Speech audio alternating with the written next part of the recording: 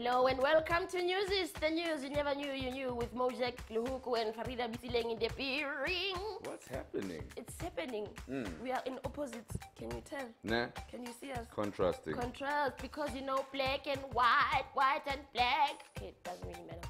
Anyway, our story today: Prison Bae Yes. makes his debut at New York Fashion Week. he was styling on them. He was.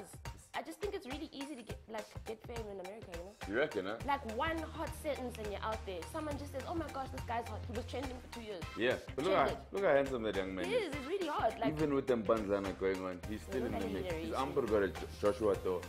But he's Wow. still no look, it's all happening. no, you you can't hardly see it. But he is a beautiful man. I can say that. Well like, done. Without shame. Thank you, Brother, No you're doing your thing.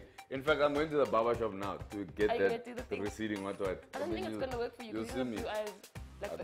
Blue eyes. Like the, I think the blue eyes capture you more than the banja. I can get contacts, It's gonna look so crass. but first I have to go to jail. And yeah, then and then get a teardrop. and then get tattoos. Look at that. That six pack also has gotta get formed, but That, that one he didn't even have time to fill in because he was in jail. You saw that tattoo. It's just he was. But he's rocking the fashion though. it was a big show, right? It really was a big Fetty picture. Wap was one of the other walkers. He looks like they could be brothers or cousins or something. Who?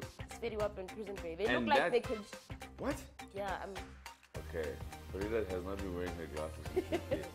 and we've let it slide for a while, but now things are getting very, very dodgy. I do not. Now you're gonna be like, no, that guy looks like Jacob. he does. Like, Jack Wallace.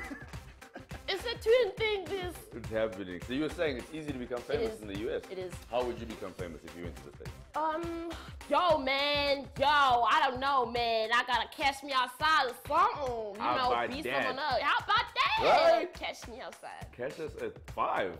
Can, you can catch us? At five. Oh, okay, cool. Yeah, Cheers. catch. Five, right?